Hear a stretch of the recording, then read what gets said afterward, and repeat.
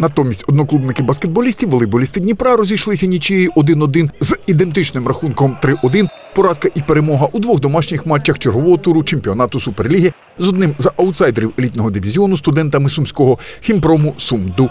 У першому поєдинку підопічні Віталія Стаднікова, відсвяткувавши успіх у стартовій партії 25-23, в трьох наступних поступилися 19-25, 22-25 і 16-25. Наступного дня все було навпаки Програвши стартовий сет 22-25, далі господарі, якщо і мали проблеми, то лише в третьому, а загалом 25-22, 26-24 і 25-16. Тренер говорить, що в обох зустрічах мав можливість експериментувати, хоча на поразку першого дня не очікував. Вчерашнее поражение как бы не ожидали, но вчера команда соперника играла хорошо.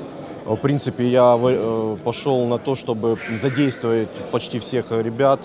И, э, в принципе, потом уже не получилось остановить их. Сегодня тоже я поэкспериментировал в первой партии, а потом выставил уже самый оптимальный состав, на который мы на Чернигов, в котором будем играть. Загалом же завершив він далі. Наразі разом з підопічними вони вирішують поточні тактичні завдання перед матчами другого етапу чемпіонату, який буде розбитий на дві трійки. Мы хотим занять э, предпочтительное для нас место, а это четвертое место. Нам его надо удержать, чтобы дальнейшее попадание в тройки, там розыгрыш был лучше для нас.